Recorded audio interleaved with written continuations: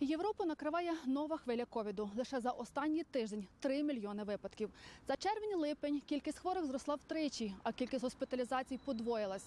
Такі невтішні дані на днях оприлюднили ВОЗ і закликали всі країни терміново почати діяти та посилювати карантинні заходи. Адже нині у Європі щотижня фіксують близько трьох тисяч смертей від ковіду. Зростає кількість інфікованих коронавірусом і в Україні. За даними МОЗу, за останній тиждень майже на 40%.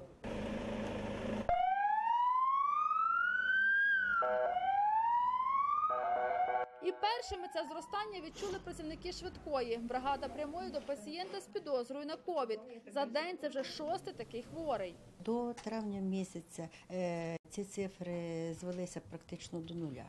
Однак, вже з перших чисел липня ми бачимо е, стійку тенденцію до появи цих викликів і навіть до деякого зростання. Їх кількість зараз складає приблизно від 7 до 10 на добу. В обласній інфекційній лікарні ковідне відділення заповнене вже на 40%. Для цієї пори року це високий показник. Ми не очікували, що така кількість хворих, яка зараз в нашій лікарні є, що вона така буде і на літо. Тому це є першим признаком того, першим дзвіночком того, що справді йде буде наростання в осінньо-зимовий період власне людей, які будуть хворіти на ковід. Якщо, наприклад, щотижнево в минулому році на той час реєструвалося до 50 випадків, а ми з е, цього е, щотижнево в середньому маємо 100 випадків, тому бачите, зразу наглядно видно, що в два рази є рівні вище, ніж за минулий рік. Ковід з України нікуди не зник, а лише вкотре видозмінився, кажуть медики, і став ще небезпечнішим. Ті хворі, які мають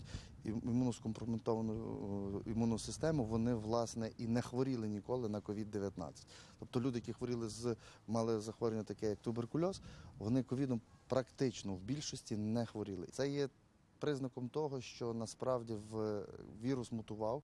Про мутацію ковіду говорять і європейські експерти і називають це причиною зростання захворюваності в різних країнах.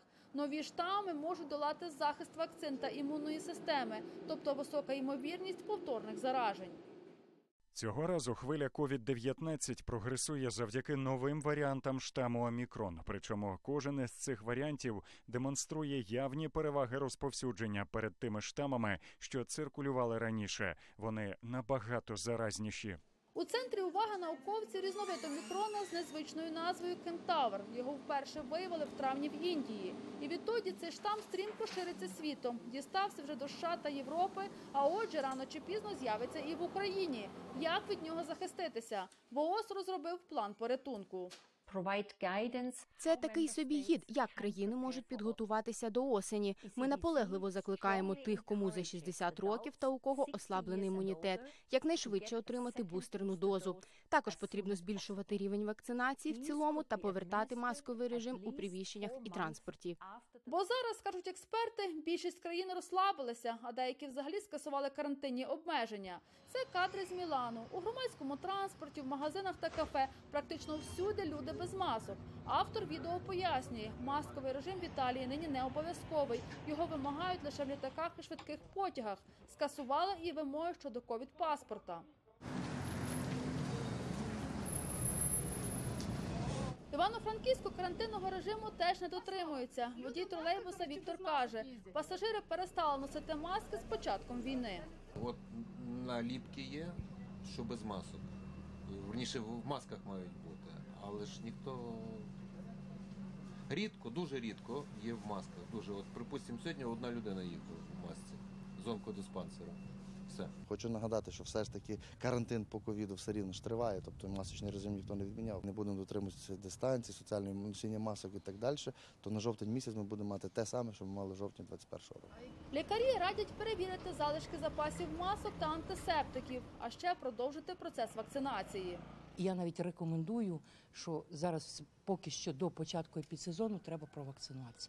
Як від ковіду, так і від грипу. Ну, З початком війни кількість щеплень в Україні дещо знизилася, кажуть медфахівці, але вже в липні охочих знову побільшало.